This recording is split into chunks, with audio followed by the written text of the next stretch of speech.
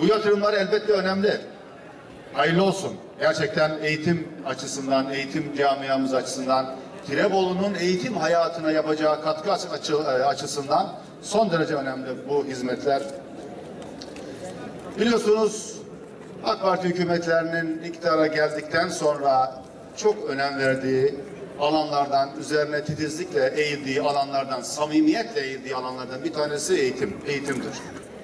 Eğitimin öne alınması, öncelenmesi, eğitim alanındaki tüm tüm sorunların ortadan kaldırılması ve gençlerimize kendilerini bu ülkeye hizmet etmek için eğitebilecekleri imkanların sunulması açısından son derece önemli.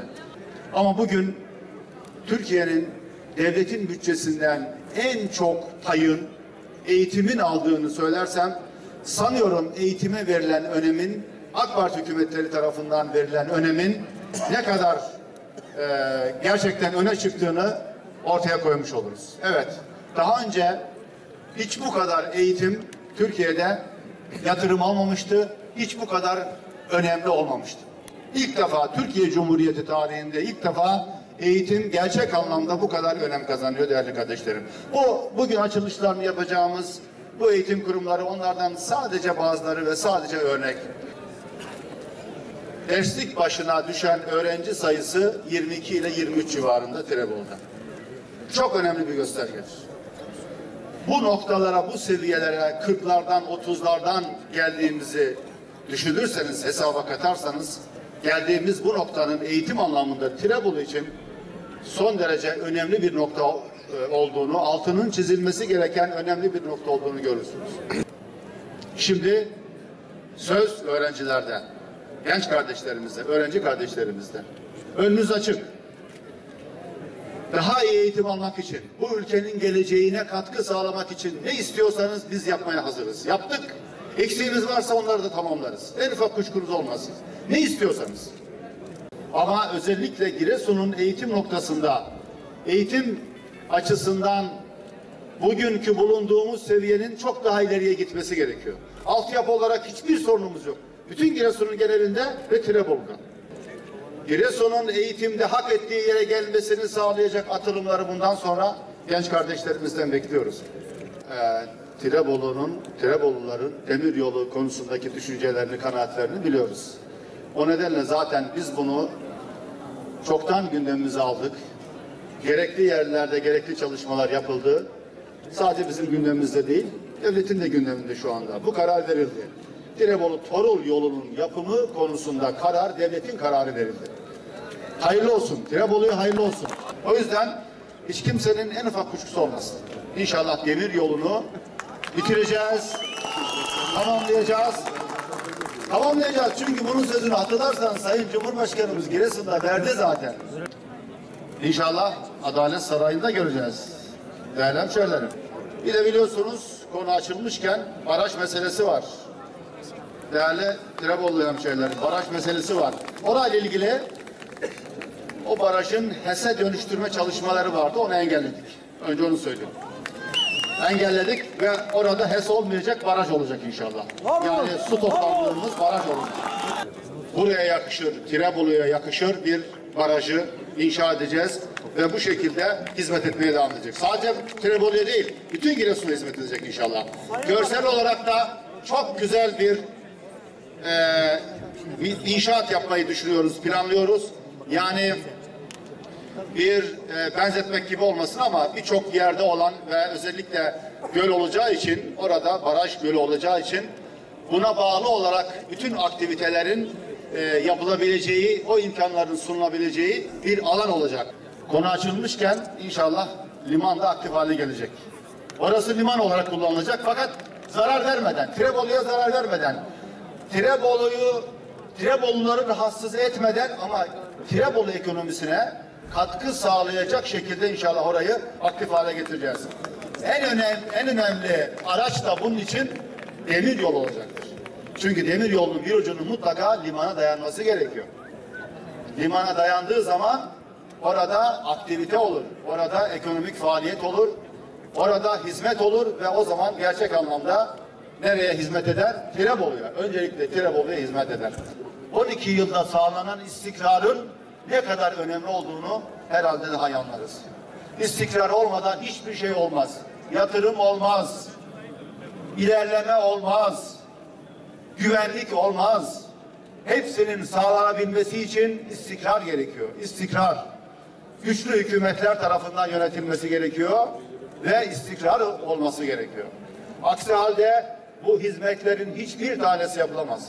Ben tekrar bu yapılan eserlerin, hizmetlerin Tirebolu'muza, bütün ülkemize, Giresun'umuza hayırlara vesile olmasını diliyorum. Hayırlara vesile olmasını diliyorum. Emeği geçen herkese teşekkür ediyorum. Eğitimin kalitesi önemli. Bu konuda velilerimize, öğrencilerimize, öğretmenlerimize büyük gayret düşüyor, büyük e, çalışma gerekiyor. Bu e, yapılanların ki bunlar gerçekten büyük işler, büyük yatırımlar, büyük fedakarlıklar. Bunların hakkını vermelerini bekliyoruz.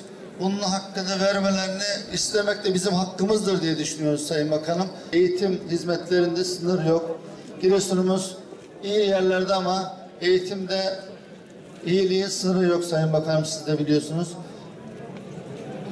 Güzel işler yaptık, yapıyoruz. İnşallah bu açılışlarla bunları halkımıza, sizlerin huzurunuzda tanıtıp hep birlikte bu coşkuyu birlikte yaşayalım arzu ediyoruz. Tirevolumuz güzel, tarihi, gelişen, büyük, büyüyen bir ilçemiz. Her yönüyle kalkınan, büyüyen bir ilçemiz. Eğitimde...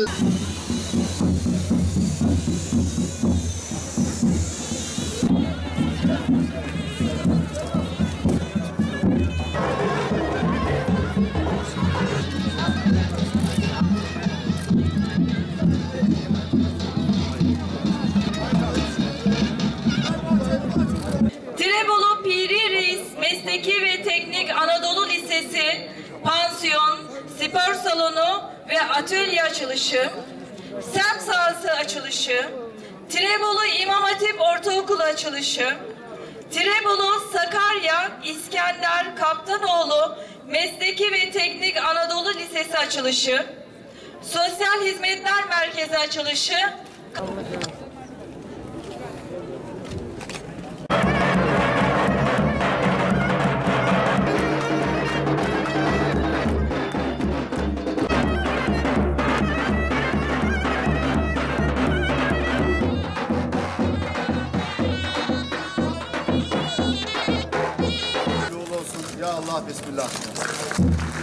Burada da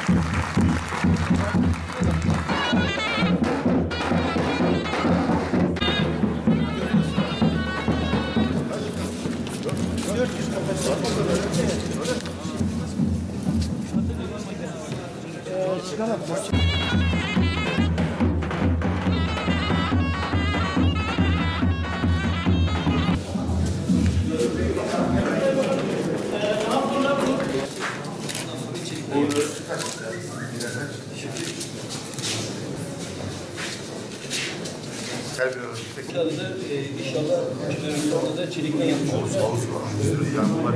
Orijinal yüklüyoruz. Böyle şey, o siyasi plasma makinesi. Sayın Bakanım kadar bozulmuş program yaptığımız oldu. Öğrencilerimize postaların kesitlerini göstermek amaçlı tamamen öğrenci ürünü bir sistem. Yukarıda çıkmış olduğumuz resimlerde onları. Siz şu an şuradasınız ve dümdüz ilerleyin. Ee, aynı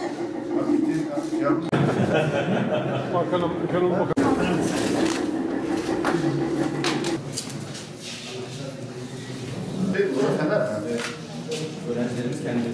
ama güvenliğini sağlamak için öncelikle kişinin kendi canını alacak. Hay Allah. Hayırlı olsun. Ben